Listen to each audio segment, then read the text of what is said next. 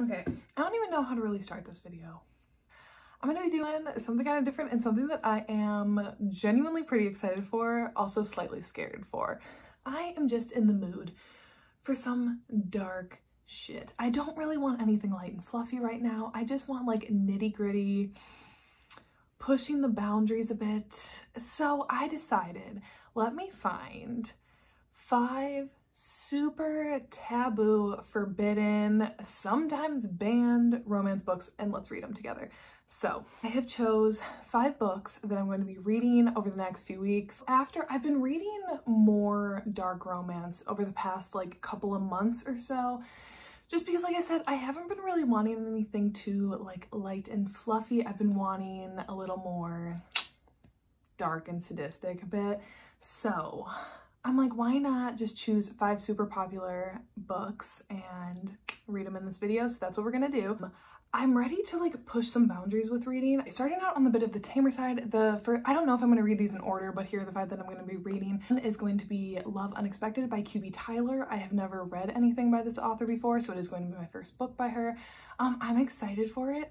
It is a stepfather, stepdaughter relationship, which I'm like, yeah, that's taboo, but we'll see how it goes. This one I think I have like a pretty good chance of actually liking just from like the synopsis. I think I I think I'm gonna like this one. Next, I'm gonna be reading Priest by Sierra Simone, which like it sounds, it's a romance following a priest and someone, I'm not sure who the girl is, but obviously the man is a priest. Next is one that I have been eyeing for like a really long time and so many people love it and so many people hate it. See where I land on this, but I'm going to be reading the first one, which is Balance by Lucia Franco. We're gonna see, I'm excited for this. It is between a gymnast and her coach, and it is a large age gap, and I believe the gymnast is like 16 when the relationship starts, and obviously with everything that has happened over the past few years with the US gymnastics team, it's like, it's been pretty controversial. These last two are ones that like, are the two that I'm kind of most nervous, not nervous about, but they're definitely the most taboo on this list, and that is going to be Forbidden by Tabitha Suzuma. This is about a brother and a sister. However, everyone that I've seen talk about this book love it. Love it. We'll see. Last one is the one, this one's been banned off of Amazon like I think I'm gonna have to buy it off of the author, author's website because like it's not available even on Amazon to buy and that is uh, The Wild by K Webster. With this one it's between a father and a daughter. I know. I think pretty much everyone that I follow on YouTube doesn't like this book. I'm intrigued.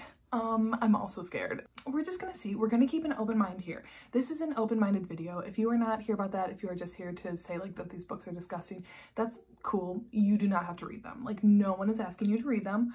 I just want to and see how these go and see if I can further expand um, my romance reading genres or tropes.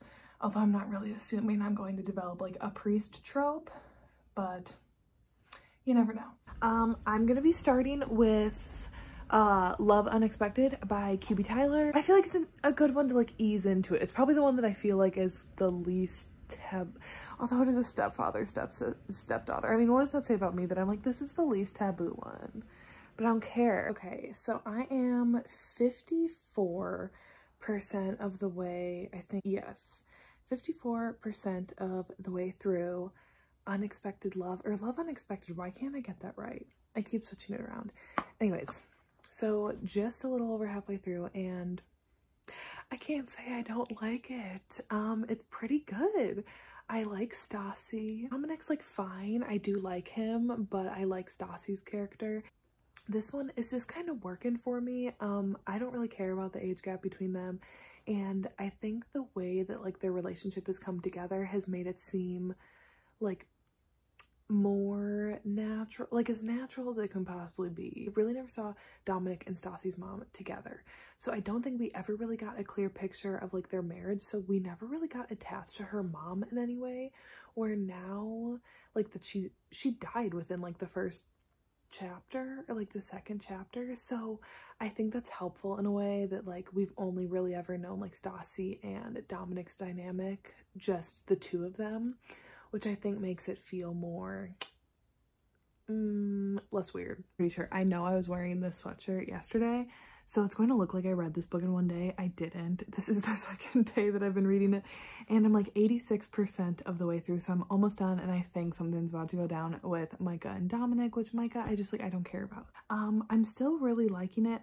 However, there is just like so much banging in this that it's like I'm missing some storyline. Like literally I think from like 46% to almost like 65 was spent like pretty much like banging with like a few conversations mingled. We get moments then of them talking about like their grief and how they're going through that and Dominic with how he's been a widow twice now and kind of going through that grief and how he wants to kind of like help guide Stassi through her own grief with losing her mother. And I think those are really great moments. Those are really great conversations that are happening between the two of them and really interesting. However, we get like small bits of that and then they're just like back to banging want more besides them just like having sex it's getting like kind of annoying which like i mean i'm all here for that but not when it's taking up the majority of the time now in the book and we're losing out i think on like conversations that i would like to be seen. Just finished unexpected love or love unexpected? I will save my final thoughts for the wrap up um i thought the ending was pretty rushed honestly but overall it was a good read. Alrighty, here is book number two. We're gonna jump into Balance next by Lucia Franco. It was just on sale for 99 cents. So that was awesome. Great timing for this. Did see that I'm kind of confused that these had to be like edited in order to stay on Amazon. So I want the unedited, obviously. And like for purposes of this video, we want the unedited. So I don't know what was changed or anything. So I think after I read this, I'm going to look that up. I don't want any spoilers beforehand. I'm officially 25% of the way through Balance by Lucia Franco. And so far I'm liking it. Um, however, if they if you don't like gymnastics or don't like sports romances you will really not like this book i think. There's really no hint of a romance yet which makes sense. I'd rather be slow burn with this age gap and with a coach like rather than just like instantly they both are like we love each other. That'd be weird. Like i don't know what the hell they're saying half the time. When she's talking about tricks i'm like i have no clue. There is a word guide at the front of the book but i'm reading an ebook so it's not really convenient to like flip back and forth. So i'm either like just reading past it, not really knowing what the tricks are, or I'm Googling it, which is kind of a pain, but I mean, honestly, it's fine. Another thing I just wanted to note with Rhea, um, like you want to be in the Olympics, but yet when like Kova tells you to do something, you're constantly being like, oh, I don't want to do that. Or like talking back or like getting annoyed. And like, girl, I would too. But if you want to be an Olympic athlete, I think you kind of have to listen to your coach. So I finished balance last night, which that ending, I mean, how can I not read book two? Already as I was getting into it, I'm like, I know I'm going to want to read the rest of this series, and I guarantee do. I honestly don't even want to finish this video. I just want to finish that series.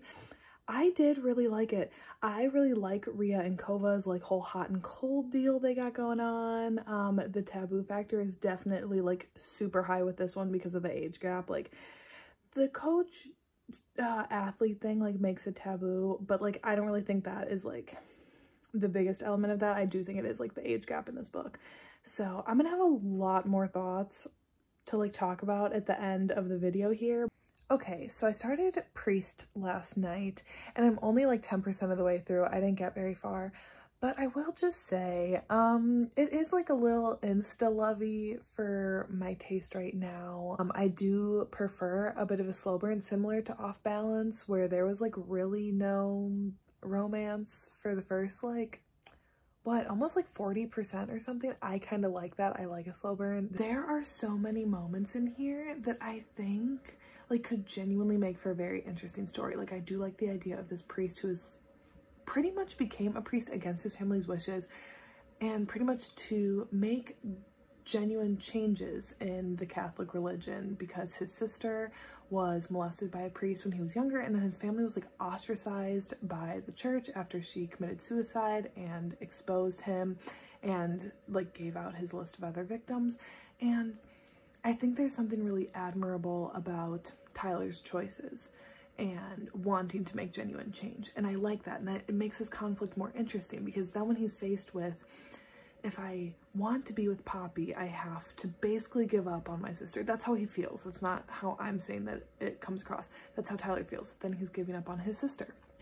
But if he wants to pursue pursue this change, he can't be with Poppy and he can't be happy. And I think it's pointing out a lot, like some hypocrisies within religion. And again, I'm not trying to start like, I'm not trying to start like a religious discussion on here just with like this book, but I do just think it's interesting and this book is making me think a lot in terms of that. While he is a priest, he's not necessarily like he does have a relationship with God and you can tell that he like genuinely loves what he does and caring for people and talking with people and enlightening them, I guess. But there is like that bit of disconnect with the religion overall just because of his past experiences with his sister and his family and I do think that that is interesting. And it also makes his choices then make more sense or not so out of left field because he kind of has like that little tiny kernel of doubt in him that then he's kind of like why is it wrong that I want to be with Poppy? And like it shouldn't be wrong.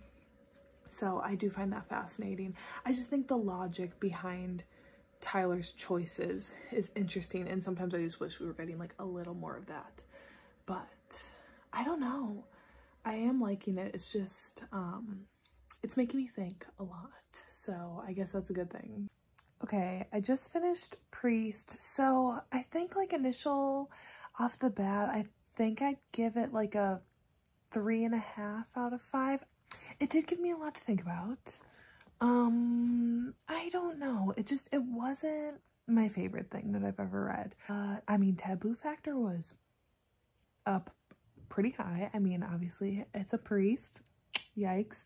And there was a lot of um, canoodling going on in the church, and I was like, oh, we're going there. Okay. Um, so I don't know. I'll gather more of my thoughts, obviously, for at the end of the video, but off the bat, like, I liked it, but not my favorite.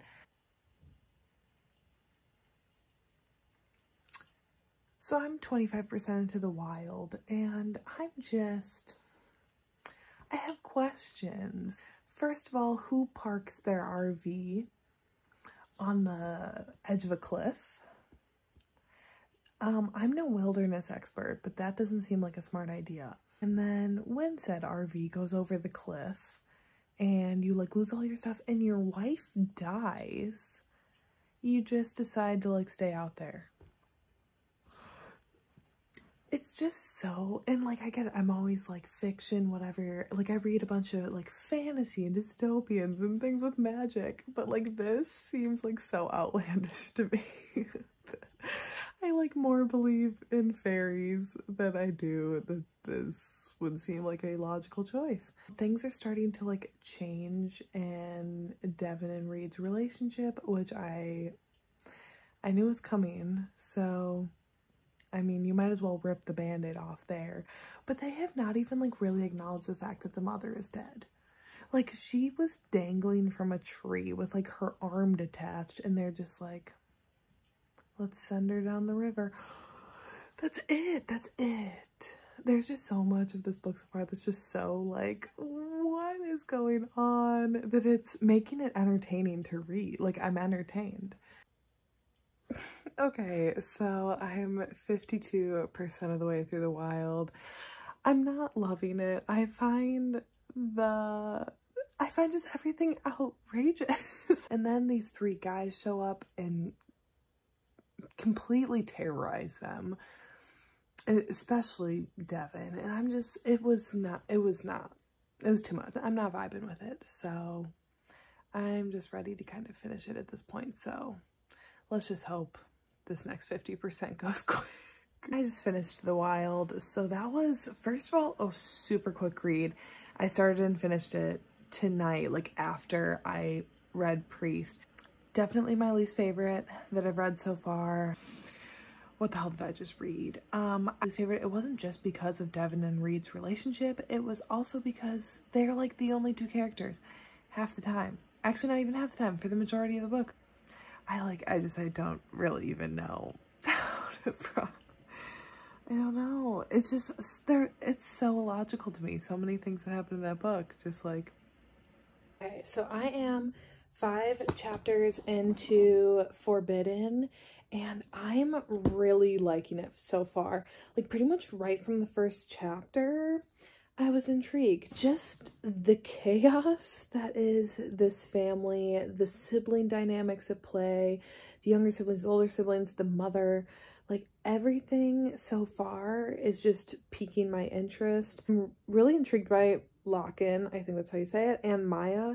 Um, just like you can already just tell the absolute shitty situation that both of them are put in as being the parents to their three younger siblings and how much they rely on each other and how they're only 13 months apart so they've kind of grown up as twins and just like that close relationship together just as like a sibling bond is really solidified already for me as a reader and I'm only five chapters in so that's great. So I'm on chapter 13 of Forbidden and like my heart just already feels heavy and I don't I mean I love it. I love it because I love to be emotionally wrecked and I think that's where we're headed.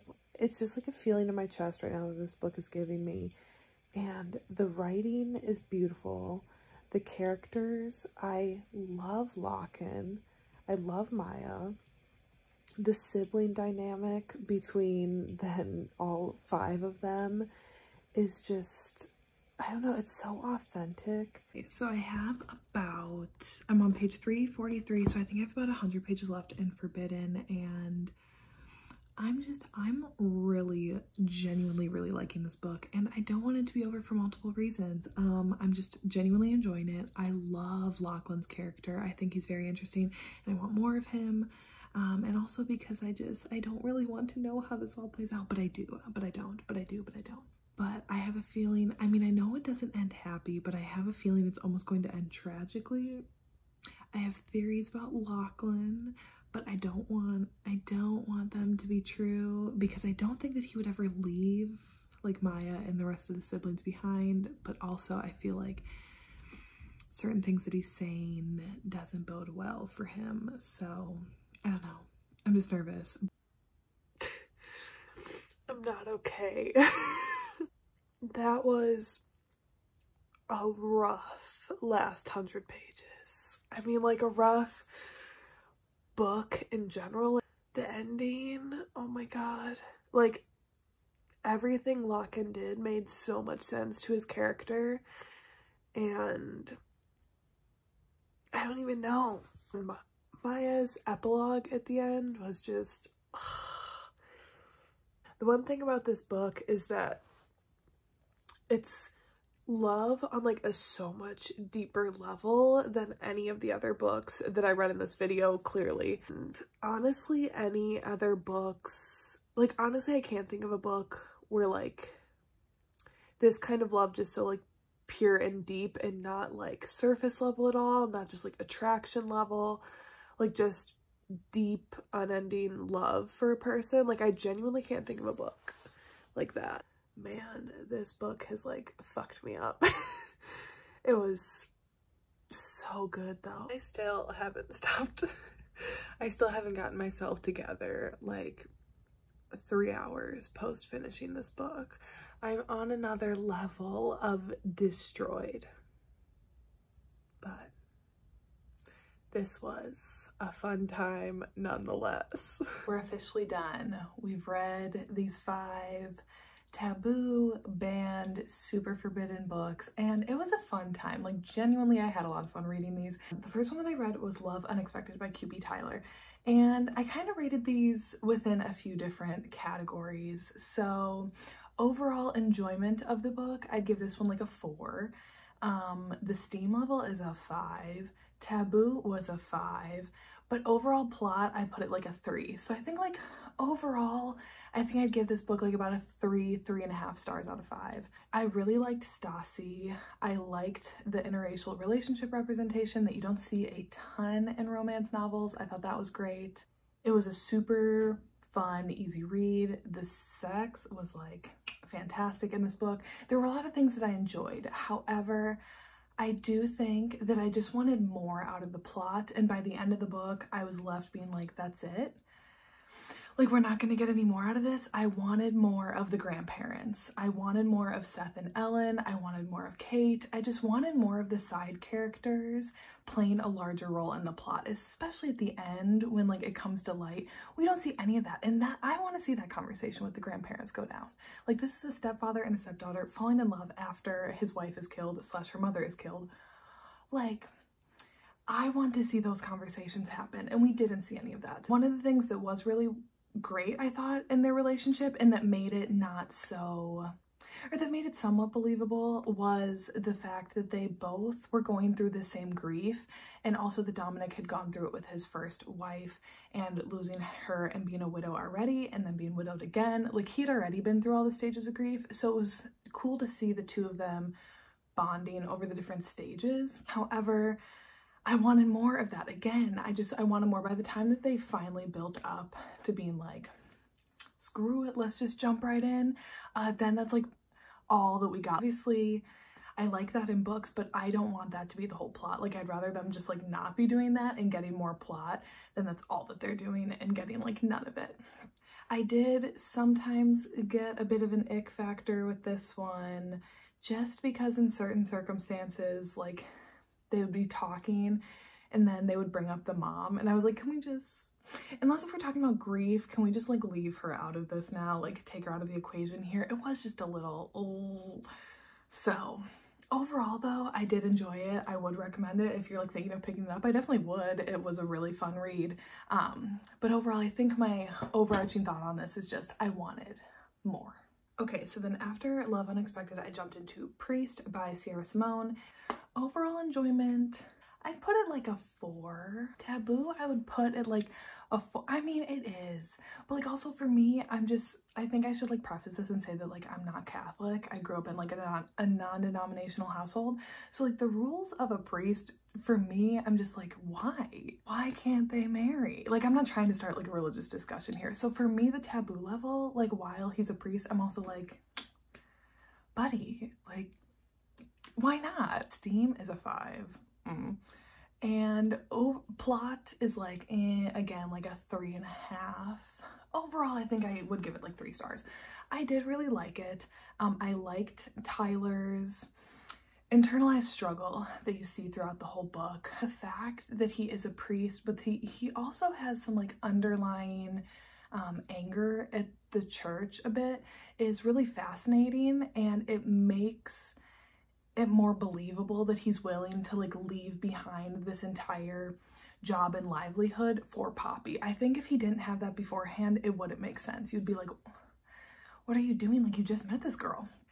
It was so instantaneous of Tyler to be like, I'm in love with this girl from like the very beginning that it made it like a little unbelievable. So much focus on like looks and like sexual drive that it wasn't really a lot of like two people genuinely like getting each other and like caring about each other. You got that down the line, but it was still so overpowered by like physical attraction, which is just, it's not my favorite. I'd rather see like them love each other for who they are more so than just the fact they're super physically attracted to each other. Like the religion undertones was interesting as someone who grew up in a religious household and has since kind of questioned things. Like it was just an interesting read and made me think a lot about like religion overall, which was something that I wasn't expecting to get out of this book. So it was cool. See, next was Balance by Lucia Franco. So this was one that I think I would have read like the quickest or the one that I knew I would for sure read even without this video and I am excited that I did. I loved this book. I would give it like fives across the board and like plot, steam, taboo level, overall enjoyment, like everything, I would give it a five. I really loved this book. Yes, there is a giant age gap. Age gap doesn't super bother me, honestly. Like that's not really like a hard limit when I'm reading. I haven't read too many sports romances. However, I do like them. Um, I like sports. I like gymnastics. I always like watching it on the Olympics, although I know nothing about it. So I ended up just Googling things a lot and like my YouTube search history is now like just a ton of gymnastics tricks because I was just trying to wrap my mind around it. So I do like that aspect that it is like heavily sports based and that it's not just like this romance playing out, that it's really intermingled. I love that Rhea has like goals in mind and she's set on them and she is very determined. I think that's something that like really bonds her and Kova and makes the relationship make sense. She did get kind of annoying sometimes. I was like, if you want this so bad, like why are you questioning your coach? Just like do it. However, if I was told to run like four miles a day, I'd be like, sorry, no thank you. I really also like that this was a slow burn. Like I don't think almost until like what 40% maybe there was really no inkling of like attraction developing between the two of them really or like anything going on romantically which i liked. This needs to be a slow burn. It cannot be like an insta love kind of thing with the story especially with it being five books. Like i love that it's taking the time to plant the seeds of these two people getting to know each other first before they're all of a sudden like i'm in love. Like priest they were like in love and then they got to know each other but this one they're like getting to know each other and then are they in love? I don't know also, I'm living and breathing for the toxic energy in this relationship. I don't care. Like, if people don't like that in books, that's fine. Like, I'm saying that I love it in books. Real life would be different, but I'm living for it in this. I like that there are a lot of plot points that are sprinkled in and that it sounds weird to say that I'm glad that this is like five books, but I'm so glad that she didn't try to rush everything in one because it would have just been a mess. I mean, granted, I don't know what happens post this book. I'm only 25% into the second book, which I'm doing a reading vlog on, so stay tuned for that. That'll probably be up after this sometime, who knows, however long it takes me. I'm just really excited to see where this series goes. Next up, I read The Wild by K Webster. So this was one that I don't think I would have read if it wasn't for doing this video. Like, I felt like I couldn't do this video and not read this book because this is like the one that everyone talks about the most and I had to experience it for myself. And honestly, it's not an experience I ever want to take again. Just The Wild by K Webster was not for me. K Webster's writing I liked, and I do have other books on my Goodreads uh, TBR list from K Webster that I definitely want to give a shot at. This one just was not for me. The entire relationship I got the ick factor from the whole time. I never once got that with Rhea and Kova or Tyler and Poppy. I got that a little bit with Stassi and Dominic, but in the last book I'm going to talk about, Forbidden, I never once got that with Lochan and Maya. Like this book just felt icky to me. Also, it's just so illogical. Who parks their trailer parallel to the edge of a cliff? When there's a storm and then when said trailer goes tumbling down a cliff and you find your wife hanging from a tree, arm detached, and you're like, we'll just set up here. Like, go home. I know you like liquidated your assets, but come on, like, don't just start living out in the wild. I don't know. It was just, there were so many illogical points to me that I just, I didn't like. And then at the end, I think this was this was spoiled for me. I'm pretty sure I already spoiled it already, but spoiler alert if you don't want to know. Um, I'll give you a moment, flip ahead.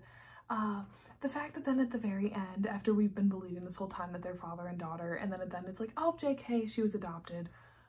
give me a break. There's nothing about this book that I liked. I hated extra characters that came in in the incident that happened that then like turned him into being like overly protective. Like I hated that whole incident. I hated that it all happened. I didn't. I didn't like this book and I think I ended up giving it two stars on Goodreads just because I really hate giving out one stars because it's like I I know an author took a lot of time into this book and like the writing is not bad. That's not the thing. It's just like the relationship and the plot didn't work for me. So I did end up giving it two stars on Goodreads. However, like me myself knowing I give it a one star and it's just, it wasn't for me. The taboo level was a five. The steam level honestly wasn't that great, like a four. Plot a one and like overall enjoyment like a one. It just, it didn't work for me. I'm glad that this book was as short as it was. I read it in one night and it just, it really didn't work for me whatsoever. I didn't like either of the characters. I didn't like the relationship. The plot just seemed outlandish and I want to be done talking about it. Now for the true star of this video. Up until I read this book, Balance was my favorite that I read out of this video here. And Balance, I would still say is my second favorite, and I'm very excited to read the rest of the series. However, this, this book I think might be one of my, in my top tens of 2020. I'll be counting that down at the end of the year of the top 10 book slash book series that I read this year, and honestly, I think this secured a spot on it. This book was just incredible. It was it, I like I still can't get over it. It's been a couple of days since I finished it and I still can't stop thinking about this nonstop. I just want to say people go into it open-minded. I get that like from the outside it sounds crazy of Lochan and Maya, a brother and sister, falling in love. I promise it's not icky. I really don't even know. I feel like this is gonna be a ramble, but let's jump into it. Um, plot five, overall enjoyment five. Steam, it's wa it's way more YA. I'd say it's like maybe like a one. Like it's really YA. And there's not barely any of it in here. And how their circumstances like thrust them together and really force them to be parents before they ever had like should be. It's just I like I I don't even know what else to. They make total sense. You never once feel gross. It's super slow. Like, I think not even like halfway through, maybe like just about halfway through is when they first start like being like, oh, maybe like we have always seen each other more as like equals rather than as brother and sister and like as best friends. Like they've always said they see each other as best friends more than brother and sister because they're born very closely age. I think it said they're only like 13 months apart and their mom is like never around. So they pretty much only had each other to rely on. And then they have these three younger siblings that they're parenting this whole time. The family dynamics were incredible to read. The character development, not only for Lochan and Maya, but also then for Kit and Tiffin and Willa, the three younger siblings, was great. Like the chaos that Tabitha Suzuma wrote about their lives you can just feel in the exhaustion that weighs on them for having to go to school, come home, be parents, get their kid, get the little kids off to school. Like, it's just so well done, so beautifully written. Never once did I ever get like an ick factor moment. It's never once really focused on like a physical attraction. It really is more like souls connecting in a way. And oh, it's just so beautiful, so painfully, heartbreakingly beautiful. Obviously, this relationship is a no. Like, it's a no-no. Like, that's, ugh. even when you hear, like, read Brother and Sister, you're like, mm, no, no. But she handles it in such a way that you can't help but your heart just, like, bleeding for these two characters. And just, she writes it so delicately and so well that you just I you buy into it. Now skip ahead. I am going to talk about the ending here. I'm gonna put like a spoiler warning and skip ahead to the end of the video or like skip ahead to when I'm done talking about spoilers if you don't want to know the ending of this. So I'll just I'll give you a moment. You can jump ahead or click out, you know, whatever you want. I don't tell you what you to do, but just take your moment. I was I was getting signs throughout the book. Lochan's character to me is the best written character of this whole series. His social anxiety, his panic attacks, talking in public, the stress of the kids, his accidental dislocating of Willa's arm, like you can just, and then the fights with Kit, like you can just tell how much he genuinely is trying he is just trying his best. And for a 17 slash 18 year old, like you should not have to be trying this hard. Like you should not have to have these responsibilities on your plate. So I couldn't help but just love Lochan. I knew it was coming. I didn't want to believe, I didn't know it was coming. I just thought maybe I didn't want to believe it. And how Lochan gets arrested and his last interaction with Maya, his last interaction with Kit, how he said that he never really got a chance to say goodbye to Tiffin and Willa before he went to jail, and his thought process of sitting in that cell when he ultimately decides what he wants to do. That scene, his final chapter, is insanely well done.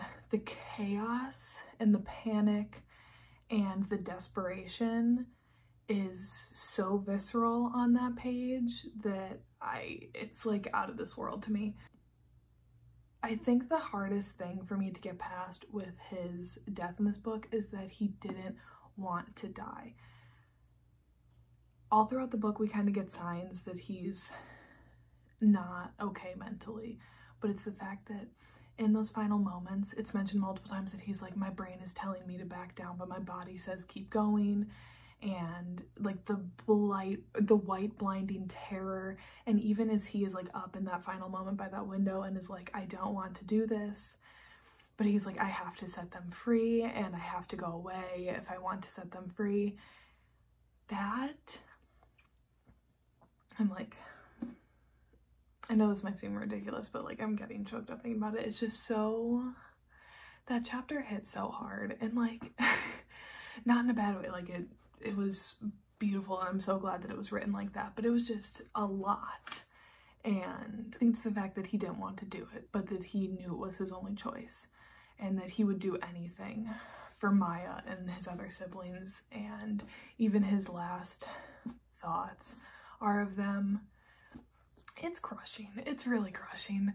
And then Maya's epilogue is just as bad, just seeing what it's done to her and that their siblings. It does end on a happy note at least, but, or like on a brighter note for the four of them and you can only hope that like, it sounds, I know like it might seem dumb to be like this emotional, like I'm trying to, like this is not real, but like it feels so real and that, and Lochan's final scene was just, oh, it just really, really was a lot. But I'm not saying that that's a bad thing. Like it was everything that I could have ever wanted for his final moment, or not really, but the route that was chosen, like it was executed really well. I think like if you're looking to read this book, like I promise it's just, it's not gonna, it's not icky. And they even say in here like how, like our love doesn't hurt anyone. Like we only hurt ourselves like by didn't by making each other unhappy by trying to deny this like why why can't we? And like, yes, it's, it is what it is, but it's really like, I don't even know what I'm trying to say. I think it's just the fact that like, they're right. Like really, who else are they hurting besides themselves? But obviously then when you think about like real life, it's like, oh, but in the book, I don't know. This book was just so beautiful. I just had one more thought after I had like paused this and done my outro and everything that I think like coherently I didn't necessarily get across correctly in this. Um, or not necessarily, I don't think I was like super coherent and like I still don't really feel that way. But one other thing I want to say, I love character death in books and TV shows and movies. I'm like a huge proponent of it. If you listen to my podcast, Popcorn Chats, you know that. This, however, the self-sacrifice is beautiful and I understand it and I get it and Lochan's actions make sense because he has only ever looked out for Maya and his siblings. However, this one is like almost harder to swallow than like the Divergent series or Throne of Glass, like other characters, I won't say who, but like other characters in those series when they have made self-sacrifices. Those feel different because they wanted to make that choice or like they were at peace with that choice. You reading this, you know that Lochan has no peace in his choice. And I think that's why it's like that much more brutal. Because while in those other books, like those characters' deaths are horrible and sad and I was upset by those too and like I cried at those but they felt different because they knew they were at peace. I think that's just the ultimate thing. They were at peace with their choice. And Lochan wasn't. And ugh, I need to stop talking about it. Read this book. Read this book. okay, now that I'm like about to cry. we are done. This was a super fun video to do. It was a really great exposure to five new authors that I haven't read anything before. Now I'm reading the rest of the Off Balance series, so I'm excited to get into that. I'm definitely going to check out more from Tabitha Suzuma. So if you have any of her other books that you really like or recommend, let me know. If anyone would like to see another one of these videos, also let me know about that. I'd be totally open to doing more. Just like let me know what some other books would be that uh, you'd want to see because I'm I don't really have too many like hard limits in books. I would just say anything similar to the wild is not gonna be it for me. Um but also i think that was too with the wild was there was literally no other characters in that book basically besides the two of them. The mom was in there for a hot second but it was basically the two of them out in the wild and i just got bored. I just got bored with just the two of them especially when i didn't really like either of them. Let me know of anything that you'd be interested in seeing me read and doing a reading vlog on but otherwise stay tuned. I will have my off balance reading vlog up soon and this is gonna go I'll have my November reading wrap-ups coming up soon where I'll quick gloss over the rest of these and everything else that I've read in the month. And yeah I guess stay tuned and I'll see you guys next time